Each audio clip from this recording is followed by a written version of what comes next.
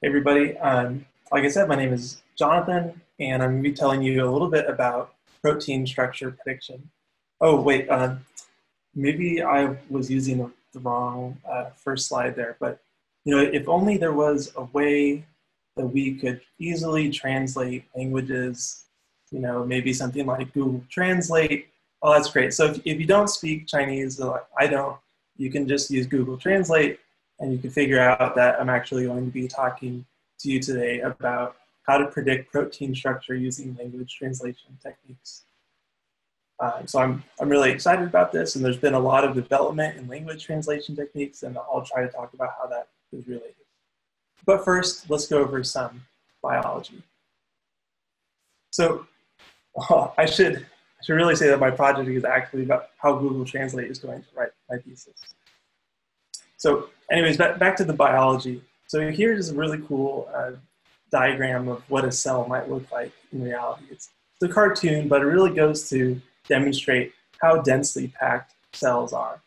And other than these yellow items here, which are DNA, and the green, which are some extracellular components, everything else in this picture is a protein.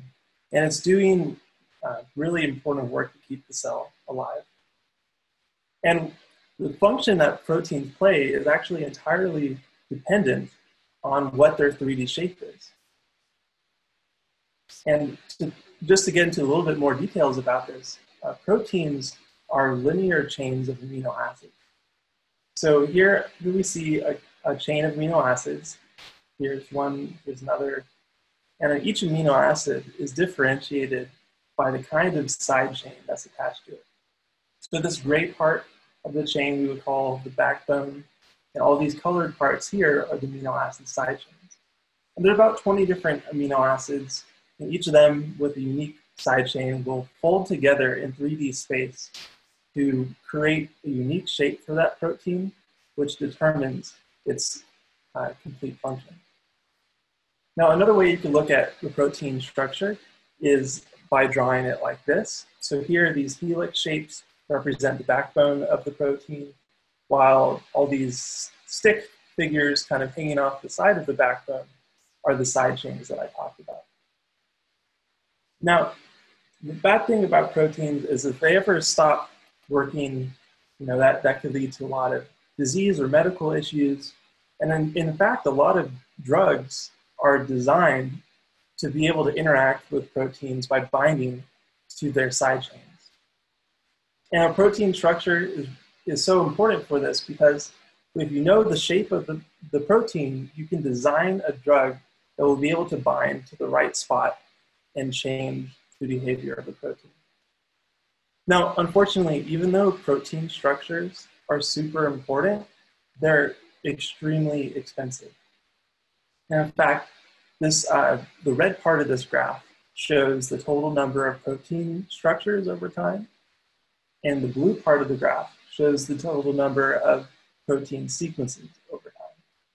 As you can see, there's far fewer protein sequences available than our protein structures. And a large part of this has to do with the fact that the experiment that can produce what a protein structure looks like can cost tens of thousands of dollars, and sometimes it doesn't even work. I went to go update these numbers um, just based on this month alone, and so as of March 2020, there were 170 million protein sequences, but only 155,000 protein structures. And so because of this issue, for the past several decades, people have been trying to take protein structure, sorry, protein sequence information and use that to predict what proteins might actually look like to fill in this gap. There's a couple ways that people have been working over the past few decades to do this. First and most like iconic way that you could try to figure out what a protein looked like is by using something called molecular dynamics. And in molecular dynamics, you take a protein sequence and you basically simulate it, and the protein vibrates and jostles around until you the physics involved will maybe show you like what the right structure is. But this is really computationally expensive. And it takes weeks of computation for a single protein, and at the end, you're not even sure if it's correct. Another set of methods are called fragment or template-based assembly. And in these kinds of methods, you say, well, I don't know what this protein looks like, but I know what a lot of its similar proteins do look like. So you can try to compare it with ones that you know that are similar, but if there's any small difference between them, your prediction might be wrong because all it takes is like a single mutation on the protein for it to completely unfold. And so these, these methods in particular are poor accounters for that. So this brings me to the obvious next question and why we're here today. And this is, you know, what about deep learning? What can machine, what role can machine learning play in solving this problem? So I'll talk a little bit about that.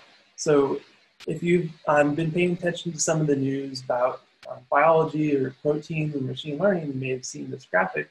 This comes from Google when they participated in the Critical Assessment of Protein Structure Prediction Contest.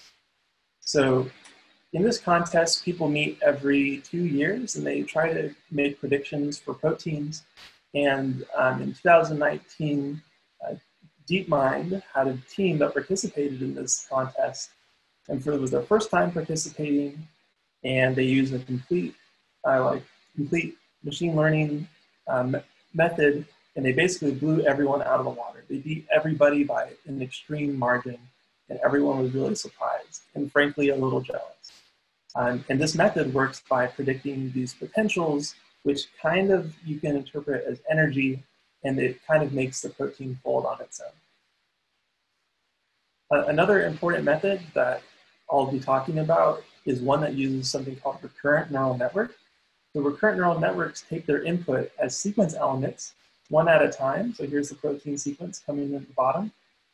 And for each protein sequence element, these represent amino acids, they will produce a few angles. And from those angles, you can build out amino acid. However, uh, recurrent neural networks are notoriously slow to train. In addition, um, this method that was published uh, used a lot of um, extra information, which may be helpful and also, when they participated in this contest, at first, because of the way they trained it, they used a loss called distance-based root mean square distance. When they optimized for this value, which represents how good a structure is, they actually caused the model to make predictions for angles that were so unrealistic that they got rejected by the contest automatically. So even though the predictions from this model looked pretty good, uh, in reality, there was something wrong with the angles. So this brings me to uh, kind of address, you know, where, where, can, where can I fit in in this and what, what is my uh, research project trying to address? Well, the first major shortcoming, which is true for uh, most of the methods that I just described, is that they do not predict the side chain atoms for simplicity. So they're only predicting the backbone atoms. And maybe this is just because the problem is really hard and people haven't developed solutions to address this yet. But I would argue that a model that does not predict the side chain atom is at a severe disadvantage. And this is because, like I was saying earlier, um, side chain atoms are what make the protein unique. They're what cause the protein to help fold onto itself, to um, make these interactions, the side chain atoms are what dictate what the protein does, is how you can design medicines. And so if you're ignoring this information, it might be a detriment to the model, and also you won't be able to do things that are important like design drugs. Uh, the second shortcoming that I would try to address is the fact that recurrent neural networks, uh, I don't think have the right inductive bias for this task. So it's true that the method that Mohammed Al-Quraishi that I just mentioned, his method worked relatively well for getting good structures, but because recurrent neural networks operate on a sequence element one piece at a time, they're not able to really remember things that are very far apart. So I think that's really important for proteins because you'll have amino acids that are very far apart in the sequence, but they'll fold up together in the 3D space. And I think that that deserves a special model architecture which I'll talk about in a little bit. Okay, so now that I've covered a little bit of the basics on why I'm here, um, I'll go into a little more detail. So first I'll, I'll tell you a little bit about um, how I've made an all atom predictive model. So one that predicts both the side chain atoms, the backbone atoms for the protein. Uh, then I'll talk a little bit about what it takes to make a training set for this information. And then finally, I'll go over just some preliminary results that I have so far. Okay, so first of all, you know, what does this have to do with language translation? Uh, so that's the primary uh, inspiration for this project, I would say. And so basically, I think since 2014 or 2017, uh, language translation tools hit a huge milestone. And I don't know if you know if you've ever played with Google Translate before 2014, it was not super great, but ever since then, people developed machine learning methods that really make it really amazing. And it has to do with you know, deep learning and being able to transform sequences of one type into sequences of another. And so I thought, you know, if I could frame this problem of predicting protein structure as language translation, then I could use all of the methods that they're using to make this so successful. So in order to do this, I'm treating the input, my input language as a sequence of amino acids. So here's one character. And the output language, after it goes through a machine learning model, is a sequence of angles. So here I have symbols representing all the what we call torsional angles for this amino acid. So you can see they dictate how the amino acid is shaped, and they even uh, describe the positions of all the side chain atoms. So we translate the language from the input to the output one amino acids at a time.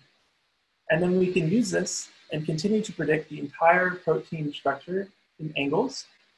We can use a straightforward algorithm to build one at a time the Cartesian coordinates that represent the protein. And then we have an actual 3D structure of the protein. And in order to train the model, we compare this prediction with the true protein structure prediction, and we use a loss function which I'll talk about a little bit more later, in order to improve the model's predictions over time. Right, and the great thing about deep learning is that all of these operations, even the ones that take the angles and turn them into coordinates, all of these operations are completely differentiable. So, all, so we can use machine learning to optimize this whole, whole prediction setup. So I'll, I'll go into a little more detail about um, the exact model that I'm using. So uh, hopefully, if you're uh, you know, interested in deep learning lately, uh, since 2017, you've heard about this model called the transformer model. And it's really changed the field for uh, language translation, for natural language processing, um, and for se sequence, uh, sequence prediction in general. So basically, um, this is a transformer model, has two parts. It has an encoder and a decoder. And rather than a recurrent neural network, which operates by looking at a sequence one piece at a time, the transformer uses something that called attention, and it looks at the entire sequence at the exact same time. And this is the, the main difference. And so if we were to, to show you an example of like what this would look like if we were using languages, uh, here's, here's a sentence, and or part of a sentence, the animal didn't cross the street because it here's the same sentence um, repeated here. And all these lines that connect the two columns, those are what we would call attention weights. So if the uh, line is darker, that means that there's a stronger weight between those two words. So what this is telling us is that um, we'll have a transformer model which will actually predict these attention weights. And what it's predicting is that I, you know, I think that the word it is strongly related to animal or street, you know, because they're they're nouns, and you know maybe it's related to the and it. And so this is what an attention layer does. It tries to predict what things are going to interact. And this is this is perfect. This is exactly what we would want for protein structure. We want to know which amino acids are going to interact. We want to know which ones are close in 3D space, which ones are far apart. And so that's why I was using it using this model. However, I was I did make uh, did make one main change to the transformer model. And I would love feedback on that if you guys have any. But I decided to throw away the entire second half of the transformer model. I was doing some reading, and I think that when you translate from one language to another, you don't know the difference in the sent sentence lengths. Like for instance, if you, you say a sentence in English and you translate it into Spanish, the, you know, the translation might mean the same thing, but it will have a different number of words. And that's one of the main reasons why people have an encoder and a decoder. So that a decoder can take the information and it can figure out when it's done predicting. However, for proteins, this is not the case. Like we, we know that there's exactly the same number of words in the input language as there are in the output language. And so I, that's why I've just thrown away the decoder and we'll see how far I can get with that. Okay, so the next step is the training set to do, to do this. Okay, so unfortunately, I don't need to start from scratch. There's this great thing called ProteinNet, which you can see on GitHub. It's made by the previous author I mentioned, Mohammed Al-Quraishi. And ProteinNet is based on that contest I was telling you about, CASP. And so this is what it looks like. So here is uh, on this axis is time. So at this point, we have the, um, the deadline for the contest, and here is the actual meeting. So what Mohammed does is he says, okay, everything that happened, all the structures that we know that are available before the meeting, we're going to make the training set for that meeting. And they're going, and then he takes out a couple pieces, the training set, and calls that the validation set. And then um, the structures that they compare with each other at the actual contest, those will be the test structures. So the reason this is really helpful is that you know, one of it's really hard to design a really good machine learning data set. You know, what's the test set going to be like? Are you going to randomly select items from your training set to, to be the test set?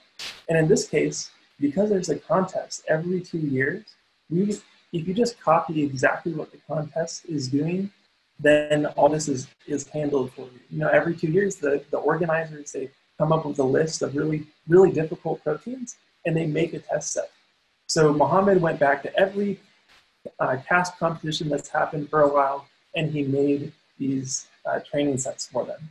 The only problem is that they do not include any information about sidechain atoms. So I went through the big list of side chains, which are kind of shown here. I've color coded them.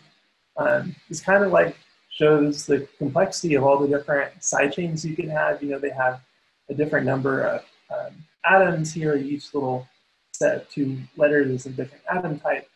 Um, they take on different shapes.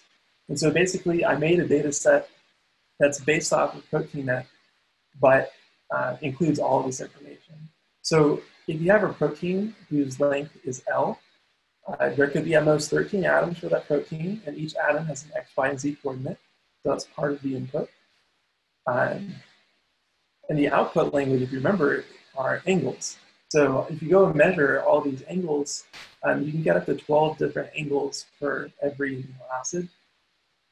And then actually to go one step further, you know, I'm, I'm, this whole thing is about trying to predict angles first, right? So I, I got to reading some research papers that said, you know, instead of trying to predict the angle in radians, which is common, you know, like pi, 2 pi, that kind of thing, you can actually predict angles as sine or cosine. And the reason this is like important is because for a machine learning model, it doesn't really understand that pi and negative pi, um, those angles are exactly the same, right? You have to use some sort of uh, fancy loss function to account for that. But a trick from the signal processing community is to actually just use these, um, these items in parentheses here. These are the sine and cosine positions, which represent like the x and x and y coordinates on the unit circle. And actually, if you predict these, you can get better performance than just predicting uh, radians, in, in case you ever have to deal with angles in the future. Okay, so I made this data set. You have, we have to go into all the proteins. You know, here's like an example. Um, you have to go and measure the angles just right. And you know, if you you have a negative sign or if you swap sine and cosine, you know, like I did here when I was making it, you could make a tiny mistake that could make a big difference. And so that's what I've been working on for a while.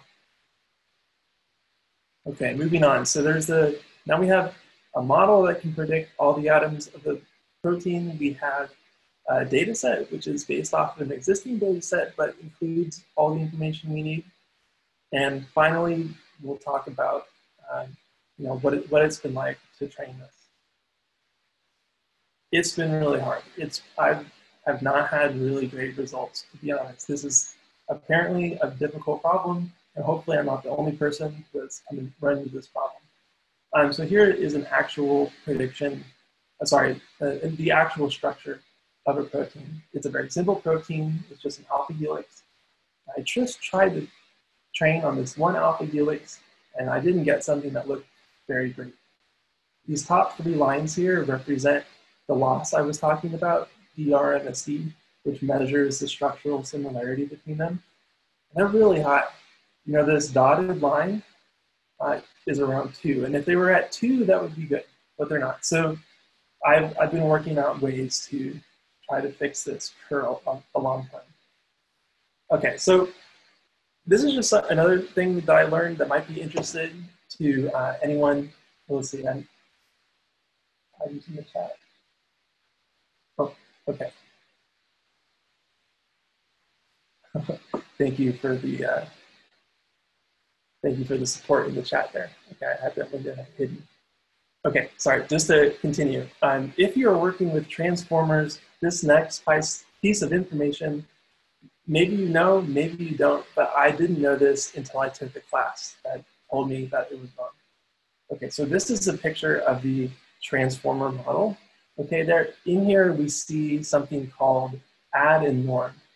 So add and norm means you take the value from this part of the graph, you add it to the output of this part of the graph, and then you do a, a layer normalization step. So like if you were to write it out, you take the input plus the feed forward layer, and then you take a layer norm of that. Okay, so this is what's in the paper, but did you know that this is not what you should probably do?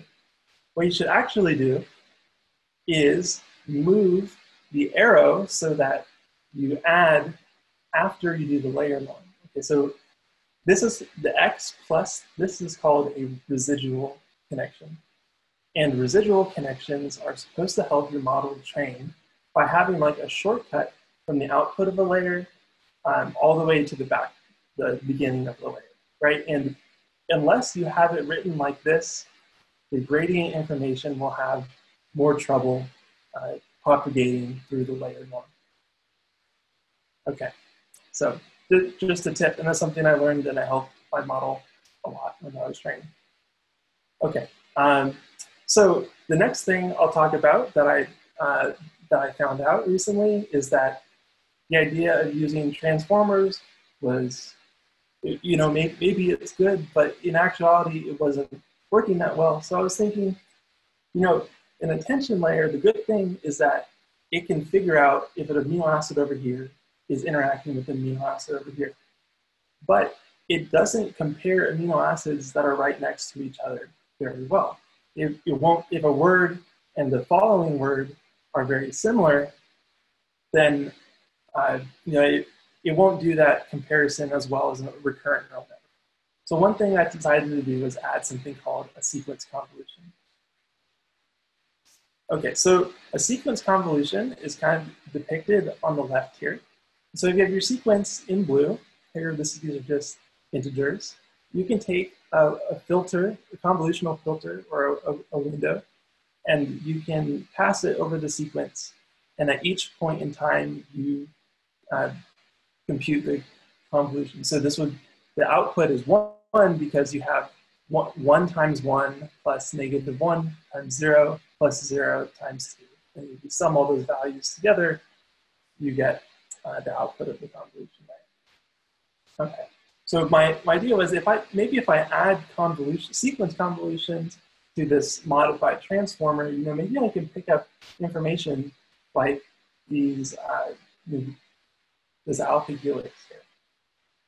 you know, maybe it can recognize that these amino acids are close to each other and it can uh, you know, figure out that there's supposed to be an alpha helix. Okay, so uh, that, that was the idea, and I'll show you what happened. And so to, to inspect this, I used the weights and biases report, and I'm happy to show you this. I, I made this recently, and so you, when you do a project on weights and biases, you can kind of make a little write-up for yourself, and you can you know do an experiment and share it with people. That's what I'm trying to do now. Okay, so regarding my, uh, let's see, David. Hmm. Sorry, I think, I think my audio is on. Um, okay, good, good to know. I'll, I'll get. We can hear you, Jonathan. Okay, great. Let me, uh, I'll just finish this up and then I'll make sure I have time for questions at the end. Thanks, everyone. Okay, so I wanted to know if adding a convolution to my transformer model would help. And so this is what the, that's the experiment I'm doing here. So I added convolutions with windows of size 3 and size 11. And I also ran a model that had no sequence convolution at all. And so this blue line that you see here on the top is when a model is trained without any convolution layers. The green and purple are when you add a convolution who has a filter size of three, and the orange and yellow are when you have a convolution that has a filter size of 11. So this is great. It's, it's showing that if I add convolution layers, you know, maybe I can improve the performance of the transformer. And so here, here are some really basic predictions. Um, the red is the, is the predicted helix, and the blue is the actual one. And you can see they all look perfectly fine, except for this one in the lower left corner, which happens to be the one without a convolution layer. So it had trouble with alpha helix. So maybe, you know, maybe that's showing something. Here's a couple more examples of some proteins that were pre predicted. Um, but it's not it's not exactly clear from the pictures you know, how, just how good this is getting. Okay, we'll go on a little bit. So it's great to know that adding a sequence convolution can help the transformer.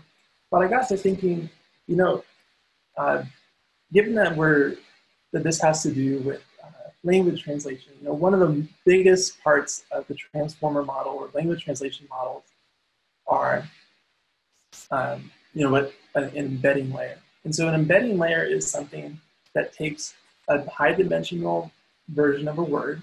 So you take a word, you know, apple, and it, you know it's it's word number 7,000 out of 40,000. And so it's a huge vector, it's a high dimensionality, and you pass it through an embedding layer, and you get a smaller vector that represents that word. And this is like really critical to help machine learning models that work with languages uh, understand you know, what the meaning of words are. And so this, this is something that I have in the transformer model, but you know, do we know uh, do we know that this is important? Like for instance, there's only 20 different amino acids. There's not like 100,000 amino acids. So do I do we even need to add embedding layers at all? And so that's this, that's the exact sort of thing I tried to answer with this next experiment. So here is uh, another big chart. Let's pull it up here. Um, on, on the right side, you can see that I ran maybe 12 different models with different um, convolution settings, and I also turned the embedding layer on and off. And so the great cool thing about weights and biases is that you can pull up the chart and you can group all the runs by whether or not they were using the embedding. And so this, this is another chart that shows the performance over time. And we see that the orange chart, which is the use embedding, is higher than the blue, which is, uh, I'm sorry, the orange represents uh, no embedding and the blue represents using embedding. So there's a significant improvement when you add an embedding. And I, I thought that was great. Okay. Move on here. Um, so then, then I was thinking, you know, even though this is telling me that we have many more, um, or sorry, that the embedding is really helpful, is it just the fact that there's so many parameters in these models? Like for instance, this is this correlation and importance is telling me that the biggest difference between these is the fact that the, the models that have embedding layers just have more parameters. And so maybe that's the reason why they're improving. And so I did one more experiment. And so in this experiment, I tested three models. The purple model has an, an embedding layer, and the brown and the green models do not have embedding layer. But the difference between the brown and the green is that I tried to increase the number of parameters in, in the green so that it would have the exact same number of parameters. But this shows that even though you try to increase the number of parameters to be the same, the embedding layer is still really important. Okay, so that's, that's one other thing I, I learned in my recent research project and weights and biases has allowed me you know, to visualize these predictions. They're still not as good as I would hope, but you know, they're, I, I, I hope that they're on, on their way. And another cool thing that I'm looking forward to using in weights and biases is this thing called weights and biases dot molecule, where you can visualize all the different uh, amino acids of your prediction as you go on.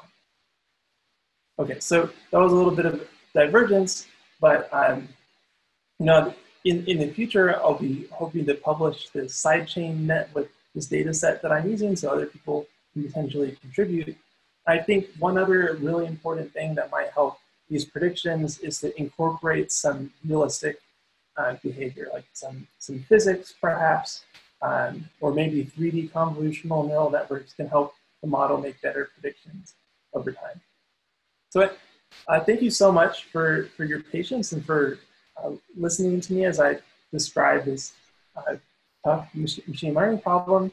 And I, you know, thank you. So thank, thanks to my uh, research group. Here's my research group. Uh, thank you to Nick and Lavanya for their help from Weights and Biases. Thanks to Mohammed Al-Quraishi, um, whose work is really inspiring. And thank you again for listening. Feel free to follow me on Twitter or GitHub. And I, I'm now happy to answer any questions. Uh, so I have some questions that I pulled out for you, Jonathan. Um, someone asked, uh, is your notebook available publicly? And I'm curious how you created the graphics. Yeah, the notebook is available publicly. Um, you can find like a permanent link on, on my Twitter, um, or we can, we can share it in the chat. And uh, was the question, how did I create the graphics? Yeah. Yeah, um, so these graphics can be made automatically with weights and biases, which is really nice. Um, these graphics are 3D objects. Um, I use a software called PyMol to visualize the predictions, and then PyMol will export a 3D object file, which you can then save to weights and biases. Uh, cool. Someone else asked, why do we need a sequence model? Uh, well, I think a sequence model makes uh, good sense for this problem because the input is um, all like all the information we have is the protein sequence. So at some part we have to have the sequence. It's true that the, the output is three dimensional, um, so maybe we could use something that's different there. But I, but definitely for the beginning, the sequence model. Thanks. And then someone else asked, uh, would graphs be better uh, than doing RNN uh, or convolutions or combined approach? Would that be more helpful? um, he thinks it might, this might be framed as a graph problem. So do you have some thoughts around that? Yeah, that's a that's a really great uh, idea. People have had a lot of success using graphs for small molecules. I know, like you can take a, a drug, turn it into what looks like a graph, and try to predict properties about that drug. And you can also do this with proteins, but that's a it's a much bigger graph, and so it, would, it would take I think a lot of a lot of work like to get this data uh, into that format, but I don't I don't see why that's that would like I I, I would be optimistic about its performance. Thanks. Uh, someone asked, um, are you dealing with uh, 3D protein side chains? How do you deal with them? How are they represented? Yes, I am. I am dealing with the 3D protein side chains. Um, I I work with them by when I take the true structure, I measure all the angles that the side chain has, and I measure where it is in 3D space. And then um, when I make the prediction, I try to re recreate those correct angles. And uh, there's an algorithm that lets you take angles and turn them into 3D structures. And uh, but that's not any machine learning in that algorithm. Uh, cool. And then the last question, if you don't use a decoder, what are your sanity checks to find out that your encodings are correct? Yeah, that's a good, good question. Um, well, in my case, the encoding is actually the, the entire answer.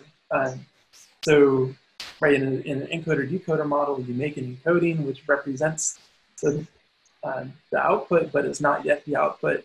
In my case, I when I encode it, I am directly producing the output. And I, I haven't thought about looking at the layers in between, but um, that might be a good idea to visualize that.